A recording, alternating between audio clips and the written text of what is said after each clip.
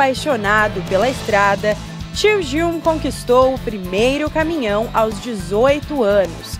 Mas o empresário não se contentou.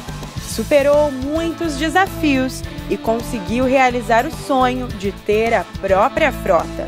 Não, realmente o começo né, é, foi muito difícil a gente encaixar uma transportadora, porque praticamente é um caminhão só. A gente tinha isso na mente, um sonho, né? Um caminhoneiro acho que nunca fica tranquilo assim, falar com uma, um caminhão só. Então surgiu o segundo caminhão, aí a gente foi crescendo até hoje, né? Chegamos a ter mais de 150. Todas as cargas são seguradas e rastreadas 24 horas e o serviço é sempre personalizado.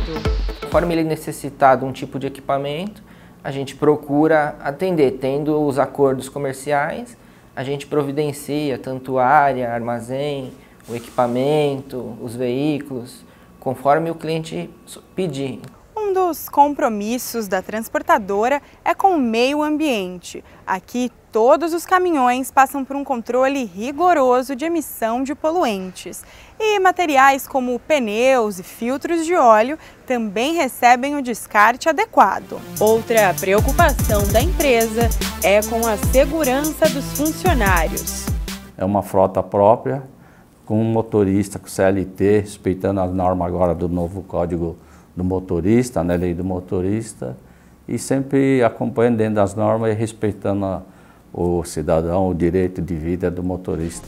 Com a experiência de quem realizou um sonho e há mais de 30 anos enfrenta o desafio de empreender, o empresário compartilha dicas para quem quer trilhar o próprio caminho. Traçar a meta, né, de, de o sonho que a gente quer realizar e não medir esforço, né? Sempre lutar à noite precisar virar e assim foi com muitos anos e a gente conseguiu realizar esse sonho que tem até hoje. Né?